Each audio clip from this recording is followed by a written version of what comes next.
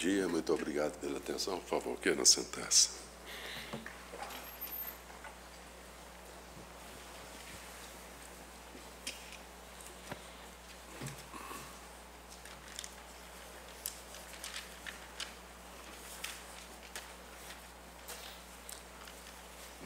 Declaro aberta mais esta sessão da SDI2 do Tribunal Superior do Trabalho. Cumprimento os eminentes ministros que a integram. Estendo esses cumprimentos a Sua Excelência o Procurador-Geral do Trabalho, Dr. José Alves Pereira Filho, senhoras e senhores advogados, senhoras e senhores servidores, na pessoa da doutora Adriana, Secretaria, coordenadora da Secretaria deste desta subseção. Eu permitiria, pediria licença aos senhores ministros para dar preferência ao julgamento de dois processos em que irá participar Sua Excelência o ministro Fernando Eizono, que mais uma vez é, presta sua colaboração à SDI 2 em razão da, do, da suspeição de dois colegas para julgamento de dois processos a fim de liberar Sua Excelência para voltar ao seu gabinete e ver se as voltas com os milhares de processos com os quais nós nos defrontamos aqui mensalmente. Relator excelentíssimo senhor ministro Emanuel Pereira, processo AIRO 2084, dígito 91 de 2012 em que são partes TIM Celular SA e Sindicato dos Trabalhadores em Telecomunicações no Estado da Bahia. Impedido, excelentíssimo senhor ministro Cláudio Brandão. Com a palavra, Sua Excelência, o eminente relator, ministro Emanuel Pereira. Senhor presidente, senhores ministros, aqui cuida-se de agravo de instrumento interposto em face de despacho da presidência do TRT da Quinta Região, em que tem negado seguimento ao recurso ordinário interposto pela impetrante. É, digo eu, senhor presidente, que correta a decisão agravada ao reconhecer a intempestividade, assim como a deserção do recurso ordinário denegado, porque efetivamente interposto além do prazo previsto, é, do prazo previsto em lei para a prática do ato e sem o devido comprovante das custas processuais. O voto tá, vai no sentido, senhor presidente, de conhecer do agravo do instrumento e, no mérito, negar-lhe provimento. Pois não. Algum destaque no voto, Sua Excelência? Sem destaques, assim se decide a unanimidade nos termos do voto do eminente relator, ministro Emanuel Pereira. Relator, excelentíssimo senhor ministro Alberto Bresciani, processo EDRO 231, dígito 81 de 2011, em que são partes Alberto Lemos Filho e Banco Bradesco S.A. Impedido, excelentíssimo senhor ministro Cláudio Brandão. Com a palavra, sua excelência, eminente relator, ministro Alberto Bresciani. Embargos da declaração. Processo, são embargos de declaração opostos em recurso ordinário jurisdição plenamente oferecida, a proposta é no sentido do conhecimento e rejeição dos embargos. Algum destaque no voto Sua Excelência? Sem destaques, assim se decide a unanimidade nos termos do voto do eminente relator, ministro Alberto Bresciani. Agradeço muitíssimo a Sua Excelência, o ministro Fernando Eizono, e se Sua Excelência quiser se retirar, sinta-se à vontade. E, mais uma vez, muitíssimo obrigado pela colaboração. Presidente, eu peço licença a Vossa Excelência para me retirar e não sem antes dizer que sempre estou à disposição de Vossa Excelência, se necessário. Sei, sei disso. Muito obrigado. Então vamos agora aos pregões dos processos com preferência. Relator excelentíssimo senhor ministro Alberto Bresciani, processo RO 219.900, dígito, dígito 37 de 2009, em que são partes Aldrovando Vaz Gaia Filho, e outro, e Antônio Renato Jardim Correia e outros. É, com a palavra, Sua Excelência, o eminente ministro Alberto Bresciani. Senhor presidente, o processo é oriundo da quarta região. Eu vou pedir vênia a Vossa Excelência, senhora ministra e ministros, para fazer uma inversão na, na exposição uh, de, minha, de meu voto, começando pelo fundo da matéria e depois passando às questões processuais que, no entanto, no, no voto que propõe estão ordenadas segundo a técnica. No caso dos autos, senhor presidente, a questão gira em torno de violação do artigo 808, parágrafo 4 da CLT, que diz o seguinte, no caput, concluída a avaliação, dentro de 10 dias, contados da data da nomeação do avaliador, seguir-se-á a arrematação, que será anunciada por edital afixado na sede do juízo ou tribunal e publicado no jornal local, se houver, com antecedência de 20 dias. E parágrafo 4 se o arrematante ou seu fiador não pagar dentro de 24 horas o preço da arrematação, perderá em benefício da execução o sinal de que trata o parágrafo 2 deste artigo, voltando à praça os bens executados. Parágrafo 2 determina a garantia do lance com o sinal correspondente a 20% do valor. Na hipótese dos autos, os ora recorrentes é, buscaram arrematar um imóvel de grandes proporções e ofereceram uh, os 20%, o 20% do valor no momento da arrematação, conforme recomenda a lei. No entanto, por franquia do leiloeiro, uh, receberam prazo de 24 horas após a homologação da arrematação para depósito do valor correspondente.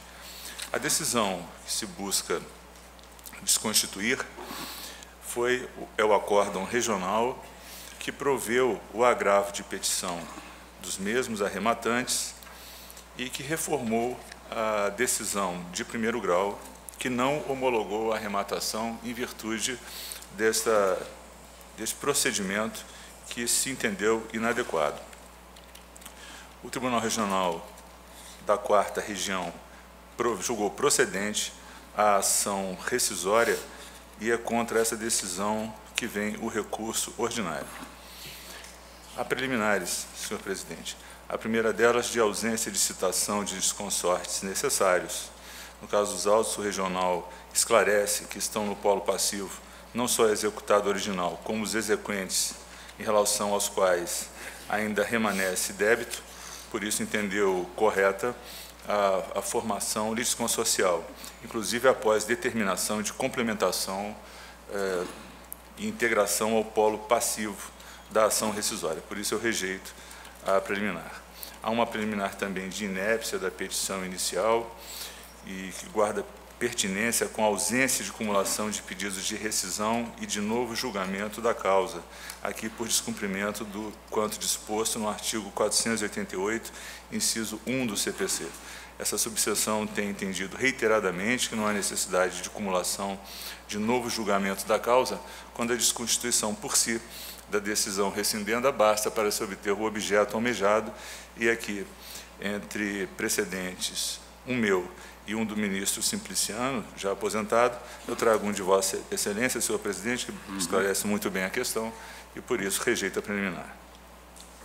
Com relação à falta de interesse processual também não, não subsiste. O regional eh, explicita a presença da condição da ação, cujo manejo repousa exatamente na necessária observância do procedimento legal. E aqui eu esclareço que não, não, não haver que se invocar a compreensão da súmula 399.1 do TST, na medida que o regional, na decisão rescindenda, afastou, invadiu o mérito e examinou a questão à luz da, do preceito legal sob, sob exame. Rejeito também essa preliminar. Impugna a parte também a concessão de justiça gratuita e a ausência de depósito prévio.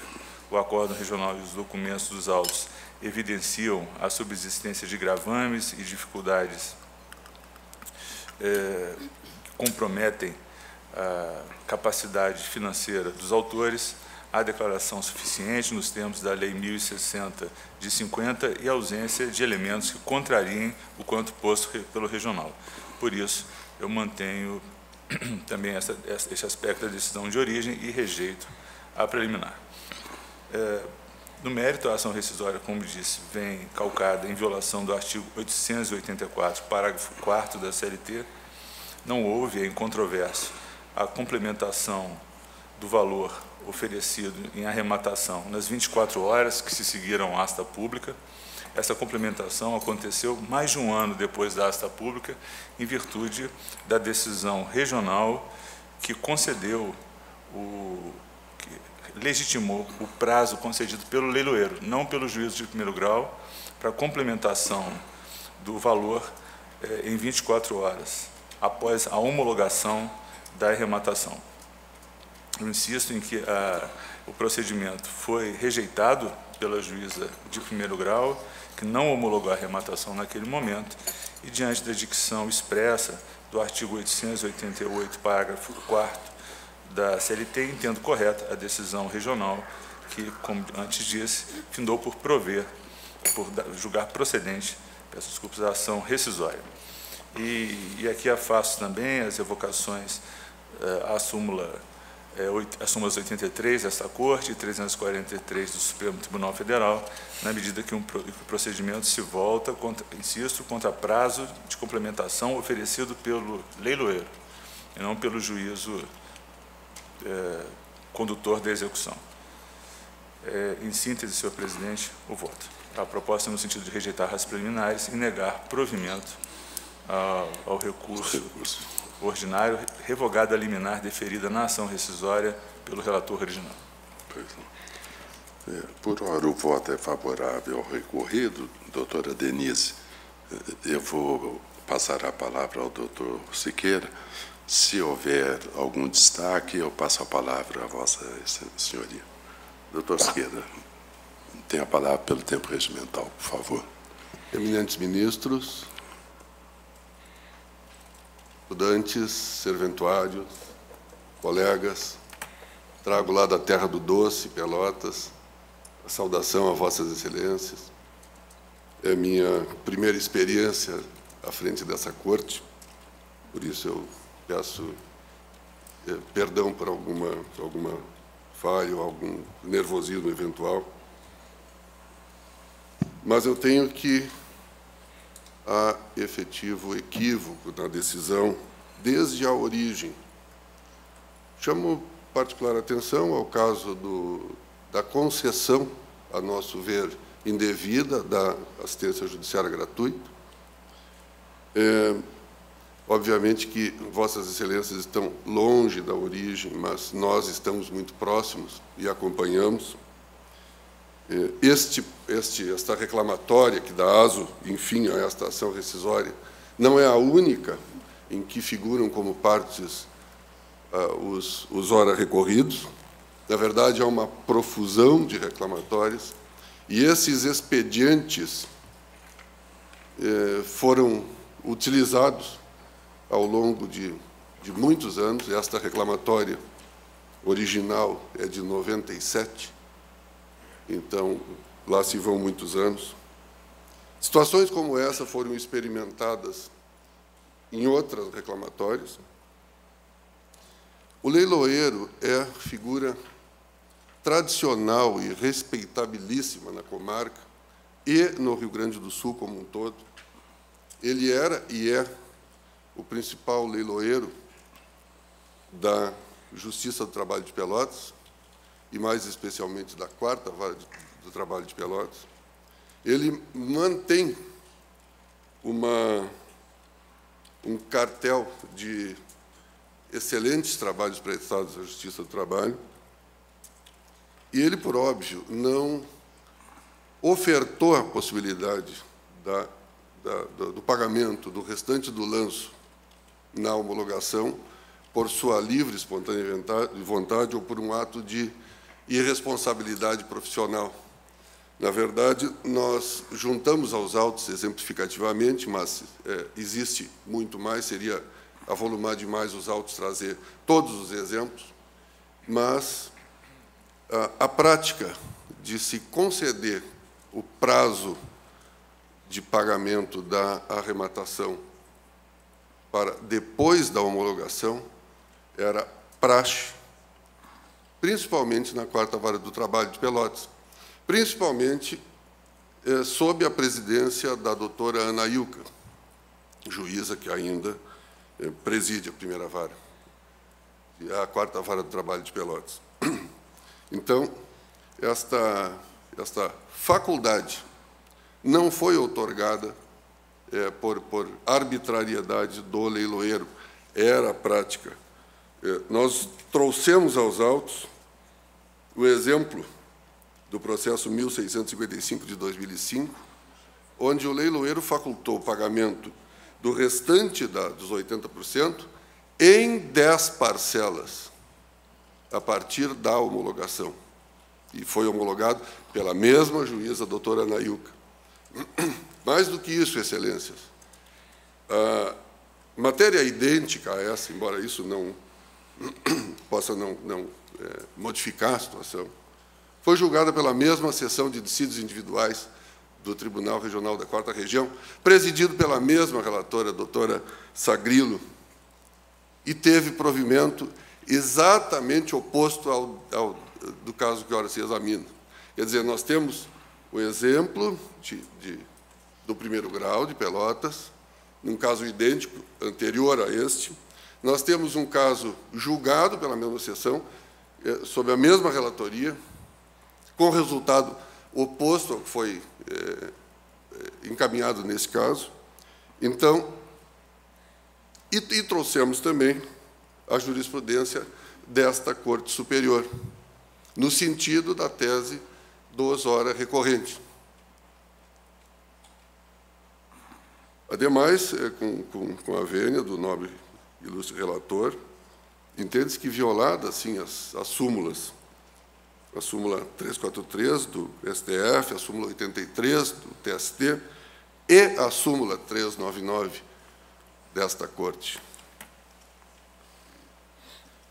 Dito isto, excelências, e considerando que este é um caso que lá na origem se conhece muito bem, é um caso de procrastinação proposital, com vistas a tirar proveito do processo, e o processo tem que ter uma finalidade útil, assim eh, entendem os recorrentes, é que comparecemos à tribuna pedindo a vossas excelências que reexaminem essa questão e deem provimento ao recurso dos recorrentes. Muito obrigado. Eu peço licença para sentar, porque eu estou com um problema de coluna que me impede de permanecer de pé por muito tempo. Pois não, não, não doutor. considerem desrespeito. Não, absolutamente. Muito obrigado. Por favor, queira sentar-se. É, ministro Roberto Bresciani. Senhor presidente, saudando e cumprimentando a doutora Ederli, eu só acrescento que em nenhum momento eu julgo irresponsável o leiloeiro, mas de qualquer sorte a prática não chancela e não derroga a lei. Segundo Sérgio Rizzi, a rescisória é cabível quando se nega a aplicação à lei reguladora de espécie. E na prática, no caso é, presente, a, norma não autoriza interpretação elástica ou seu temperamento, especialmente por parte do leiloeiro. Por isso, eu peço vênia para manter a minha proposta. Algum destaque no voto, Sua Excelência? Não havendo destaque, eh, assim se decide a unanimidade, nos termos do voto do eminente relator. Eu só ponderaria que as súmulas citadas pelo eminente advogado não abrem ensejo à ação rescisória. Ação rescisória é violação de dispositivo de lei ou da Constituição, então, eventualmente, pode até estar em desacordo com algum precedente jurisprudencial, mas não serve de embasamento à rescisória. E a prática que se adotou e talvez tenha induzido a erro, não se pode ser convalidada, porque o juiz não pode deferir ao leiloeiro essa faculdade que não lhe é dada. Isso é prescrito em lei. Eu fico a imaginar leiloeiro autorizando o parcelamento do remanescente do lance, do sinal do lance, de 80% em um ano, em isso, e depois a juiz homologa. A questão de estarmos longe do caso concreto não é tão interessante exatamente pelo detalhe que já se disse. Aqui não se faz justiça, não se corrige erro de julgamento. Aqui apenas se verifica se há violação ou não a dispositivo de lei. Então, para a ação rescisória, não é tão relevante nem significativo que nós estejamos fora de uma realidade que a mim pessoalmente, com todas as vezes, me surpreende quando um leiloeiro passa a ter uma atribuição que definitivamente não é dele.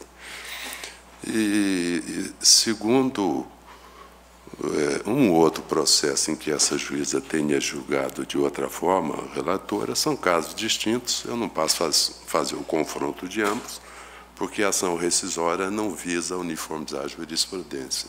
De maneira que, com todas as vendas ao ilustre advogado e, todas as suas doutas ponderações, eu também acompanho o eminente relator e reitero que a decisão é unânime, nos termos do voto de Sua Excelência, consignada a presença da ilustre advogada doutora Denise Pires Fincato. Com procuração nos autos, doutora. Muito obrigado às suas senhorias.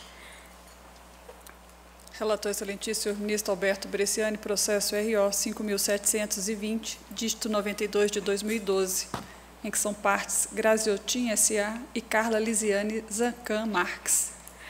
Com a palavra, sua excelência, o eminente relator, ministro Alberto Bresciani.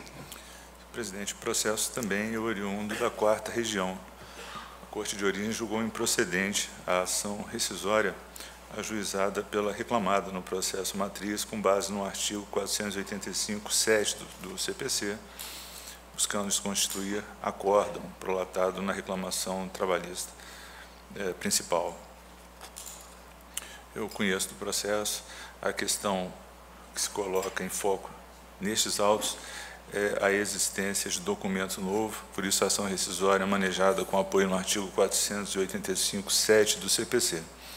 A parte sustenta que, em síntese,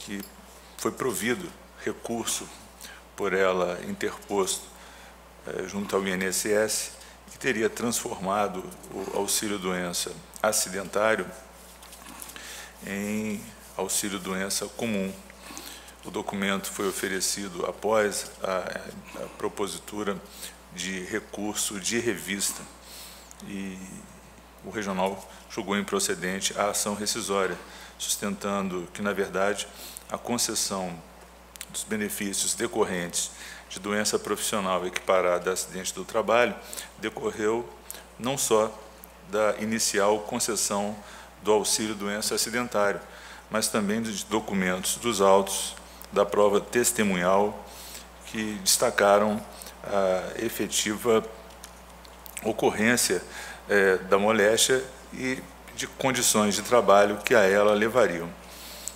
a decisão rescindendo está transcrita, está transcrita também a decisão recorrida e efetivamente para que se acolhesse a, a ponderação da parte, necessário seria não só que o documento efetivamente fosse novo nos termos da lei, mas também que autorizasse por si a conclusão contrária àquela estampada na decisão rescindenda, o que no caso dos autos não se faz possível, a meu ver, e conforme o regional pontuou, em virtude da análise detida no processo matriz de outros elementos probatórios. Por isso, senhor presidente, eu nego provimento ao recurso no aspecto e com relação aos honorários advocatícios, a decisão está em consonância com o item 2 da súmula 219 desta Corte, que entende cabível a condenação ao pagamento de honorários em ação rescisória no processo trabalhista. Proposta no sentido de negar provimento ao recurso ordinário. Muito obrigado. Doutor Luiz Fernando, pretende fazer uso da palavra? Sim, sim. Com procuração nos autos? O tempo regimental de 10 minutos, por favor. Gostaria de saudar o ministro presidente, demais ministros integrantes da SDI 2, estudantes aqui presentes, servidores, colegas advogados, aliás, colegas gaúchos advogados. É, é, fico bastante feliz em ver que os, os colegas do Sul se fazem presente em peso no TST, é uma longa distância, é, num horário que nos toma dois dias praticamente, mas é o prestígio que essa casa merece e que nós gaúchos sempre é, é, prestigiamos. Pois bem, a matéria dos autos foi muito bem relatada por, por Vossa Excelência, o ministro relator. É, Trata-se de ação rescisória que visa, é, fundamentada em documento novo, né, é, que visa desconstituir uma condenação é, realizada num contexto probatório não mais existente. É, e qual a razão deste, desta inovação no contexto probatório? É, a parte reclamante no processo, na ação subjacente, ela postula a reintegração em emprego e salários do período de afastamento, sob o argumento de que era detentora da estabilidade acidentária. Traz aos autos o documento que comprova a concessão do benefício auxílio-doença acidentário por nexo técnico, técnico epidemiológico, ou seja, faz a, o nexo, a análise do nexo causal se dá por presunção. Desde a defesa, a empresa vem informando que apresentou recurso na esfera administrativa na medida em que não concordava com a presunção é, feita pelo INSS. Infelizmente, o INSS não teve a celeridade é, desejada e o processo é, foi até o seu fim sem a resolução do recurso administrativo apresentado empre pela empresa. É, já com trânsito em julgado, é dado provimento ao recurso administrativo da empresa, afastando o nexo entre a doença e as atividades profissionais desempenhadas pela reclamante em favor da reclamada. Ainda que no é, acórdão rescindendo haja referência de que haveria outros elementos probatórios né, que, justific, que, justificam a manutenção da, da decisão rescindenda, é, data máxima vênia, tratando-se de prova eminentemente técnica, né, o documento que chancelou e legitimou a condenação da empresa foi o documento administrativo do INSS, qual seja o nexo presumido é, decorrente do benefício concedido. Não mais existindo esse, essa presunção, é, estamos diante de caso é, de aplicação do inciso 7 do artigo 485, no entender da empresa autora da ação rescisória, esse documento novo, ele é capaz por si só de rescindir, ah, de trazer uma, um pronunciamento favorável aos seus interesses, na medida em que os outros elementos de prova referidos pelo, pelo Tribunal Regional, eles não têm consistência, diante do fato de que estamos numa prova técnica, de uma análise técnica, uma análise médica.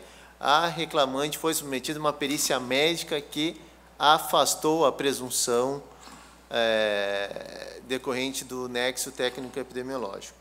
Então, data máxima vênia ao voto proposta do, do ministro relator e data máxima vênia também ao entendimento do egrégio regional, a empresa entende que o documento novo trazido aos autos é capaz, sim, por si só, de lhe trazer é, um pronunciamento favorável, e são essas as razões que autorizam a pedir o provimento do recurso ordinário e a procedência da ação rescisória. Muito obrigado, senhor. Eu que agradeço, Vossa Senhoria, eminente ministro Alberto Presidente. Senhor presidente, eu compreendo a resignação da empresa, mas o, o CPC, no artigo 485, inciso 7, autoriza o desfazimento de julgado quando depois da sentença o autor obtiver documento novo, cuja existência ignorava, ou de que não pôde fazer uso, capaz, por si só, de lhe assegurar pronunciamento favorável. A decisão rescindenda, que é o acordo regional, tem o seguinte teor. Os documentos das folhas 19, 29 e 30 evidenciam que o INSS reconheceu que a moléstia que acometeu a reclamante tinha relação com as atividades laborativas desenvolvidas na reclamada, consoante anexo 2 do Decreto 3.048 de 99, tendo concedido auxílio-doença por acidente de trabalho. Este aspecto até talvez pudesse ser é, afastado em função do, do dito documento novo, mas prossegue a decisão.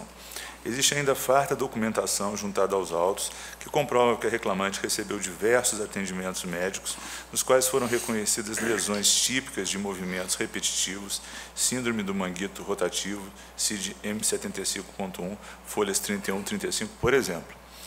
Os atestados de saúde ocupacional ainda evidenciam que a reclamante estava submetida a riscos de natureza ergonômica, folhas 36, por exemplo.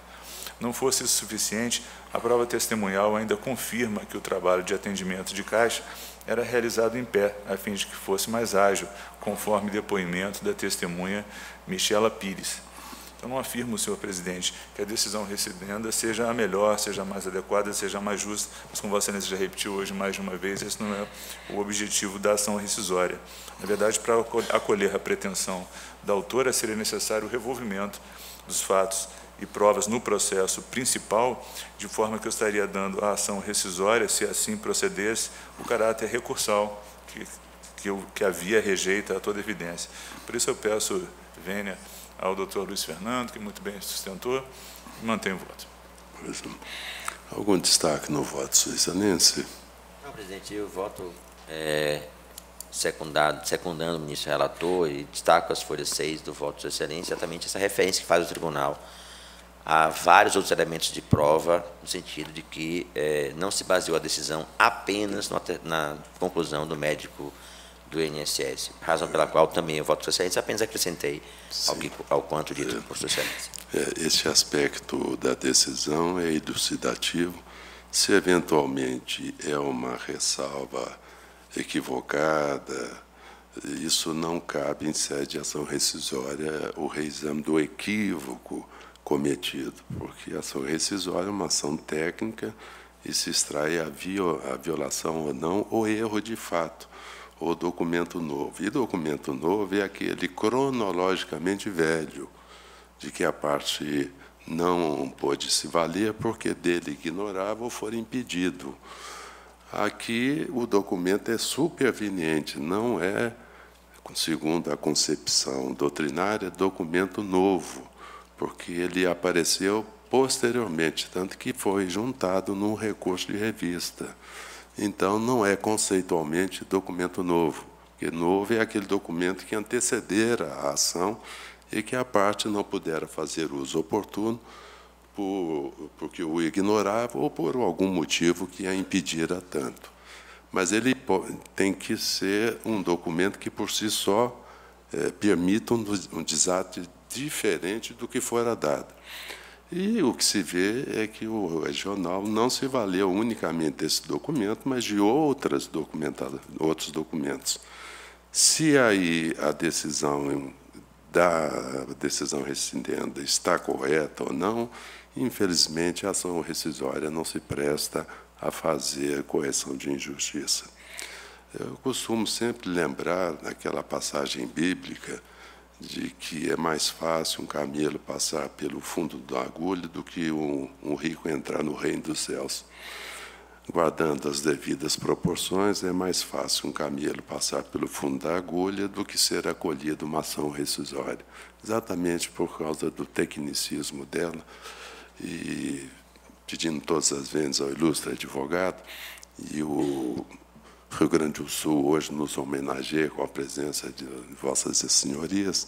Eu também acompanho o eminente relator e proclamo que a decisão é unânime. Nos, nos temos o voto do eminente relator, ministro Alberto Bresciani. Muito obrigado, doutor. Relator excelentíssimo, senhor ministro Alberto Bresciani, processo RO 3.743, dígito 02 de 2011, em que são partes Hospital de Clínicas de Porto Alegre e Marcelo Paglioli Ferreira. Com a palavra, Sua Excelência, o eminente relator, ministro Alberto Bresciani. Senhor presidente, o processo também é oriundo da quarta região, só que agora um recurso ordinário em mandado de segurança. O recurso ordinário se volta contra o acórdão do Tribunal Regional da Quarta Região, que denegou a segurança impetrada pelo Hospital das Clínicas de Porto Alegre, que objetivava assustar os efeitos de antecipação de tutela concedida pela Meritíssima Juíza da 14ª Vara do Trabalho de Porto Alegre, nos autos de reclamação trabalhista.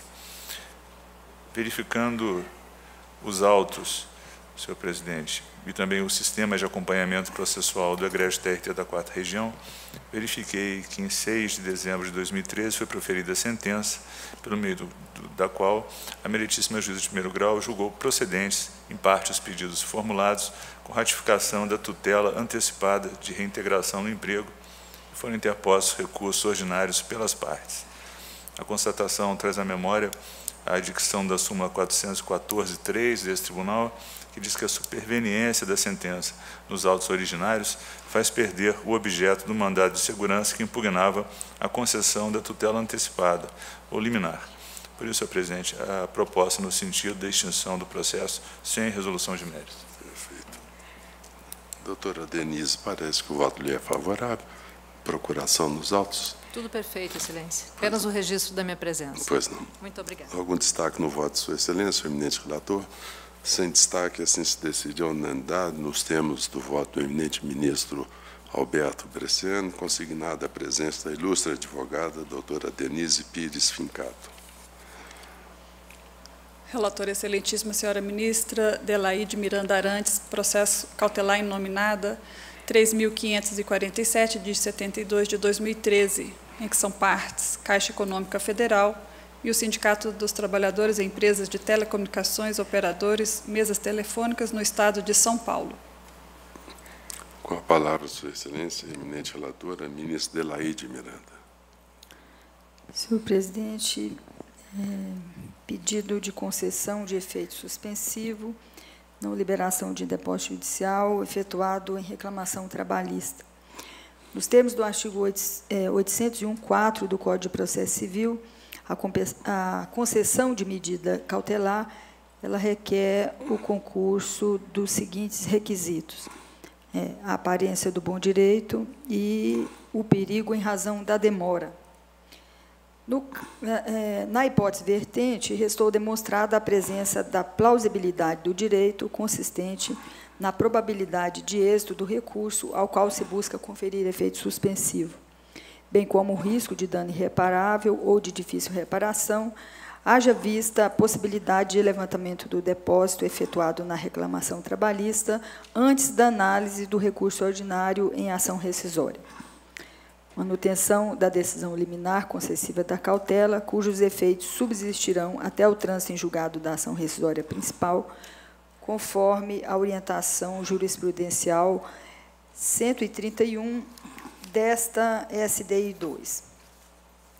Assim, senhor presidente, eh, o meu voto é no sentido de julgar procedente a ação cautelar inominada para imprimir efeito suspensivo ao recurso ordinário da autora, é, nos autos do ROAR 388, 41, 2012, 5, 15000, e determinar ao juiz da segunda vara do trabalho de Campinas que se abstenha de liberar quaisquer valores relativos ao depósito judicial efetuado pela Caixa Econômica Federal, nos autos da RT 108.463, 2006, 5.15.032, até o trânsito em julgado da ação rescisória principal, consoante a orientação jurisprudencial 131 da SDI 2 desta Corte.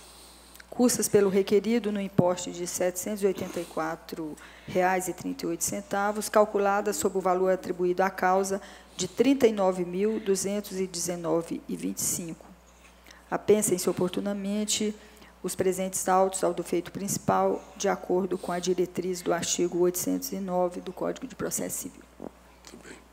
É, doutora Meire, por hora a decisão é favorável. Eu vou indagar dos colegas se há algum destaque no voto Sua Excelência, eminente relatora. Sem destaques, assim se decide a unanimidade.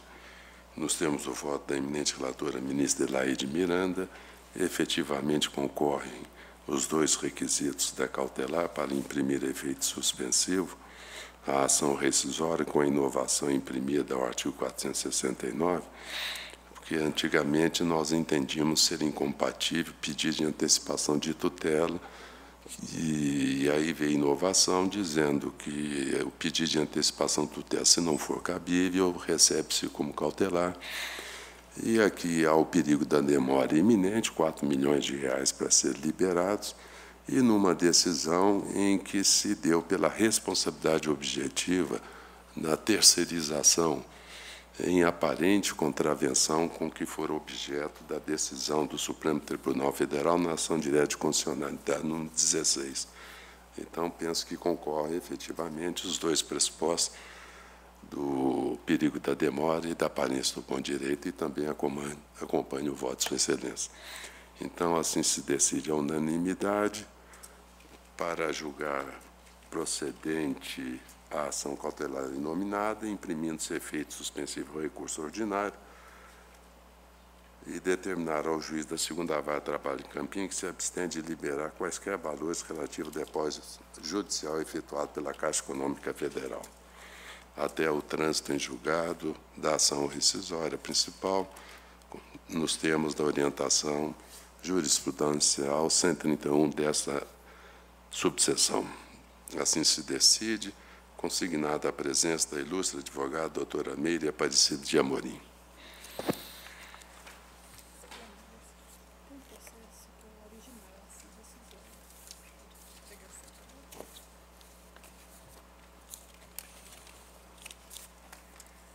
Relator, excelentíssimo senhor ministro Emanuel Pereira, em que é revisor, excelentíssimo senhor ministro Alberto Bresciani. Processo, ação rescisória 9.085, dígito 68, de 2012, em que são partes município de Ocara, Prefeitura Municipal, e Antônia Mendes Pereira.